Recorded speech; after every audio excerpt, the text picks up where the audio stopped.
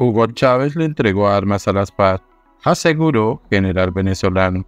La entrega le fue ordenada al general venezolano retirado Cliver Alcalá Cordones, quien se entregó en Colombia a agentes de la DEA en el 2020.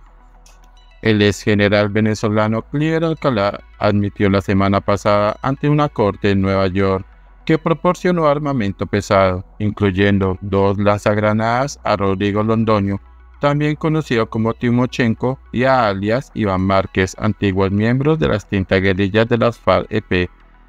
La revelación se dio a conocer a través de un trino del periodista Joshua Goodman de la agencia AP, quien obtuvo la transcripción de una audiencia realizada el 30 de junio en la que Alcalá se declaró culpable de proveer apoyo material a las FARC, organización que en ese momento estaba designada como terrorista por los Estados Unidos.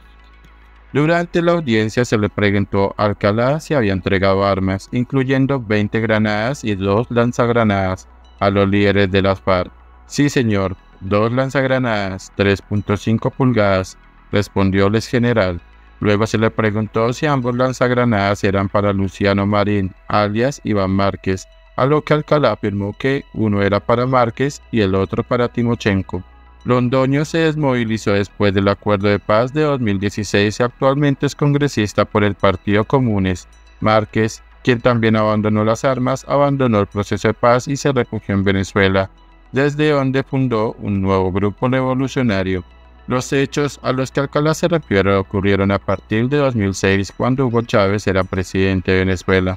Durante la audiencia, el general también admitió haber utilizado su poder para evitar el arresto de los líderes de la FARC y a él les brindaba apoyo a sabiendas de que Estados Unidos los consideraba un grupo terrorista involucrado en el narcotráfico. Alcalá se retiró del ejército venezolano en 2013 y se convirtió en un crítico acérrimo del chavismo y del presidente Nicolás Maduro. Sin embargo, en 2020 fue acusado, junto a Maduro y otros, de formar parte de una red de narcotraficantes que enviaba cocaína a los Estados Unidos. Ese mismo año, Alcalá se entregó a la DEA en Colombia y desde entonces ha estado enfrentando el proceso judicial que finalizó la semana pasada.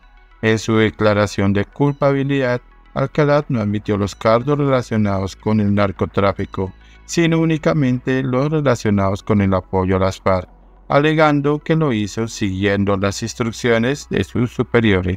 El general Alcalá aceptó un acuerdo de culpabilidad ampliamente negociado en el que se declaró culpable de delitos menores no incluidos en la acusación en su contra.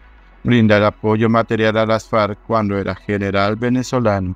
Esta resolución no incluye ningún delito relacionado con narcóticos, afirmó en un comunicado el bufete de abogados que se encargó de su defensa. Ahora el acuerdo está en manos del juez, quien deberá evaluarlo y determinar la sentencia correspondiente.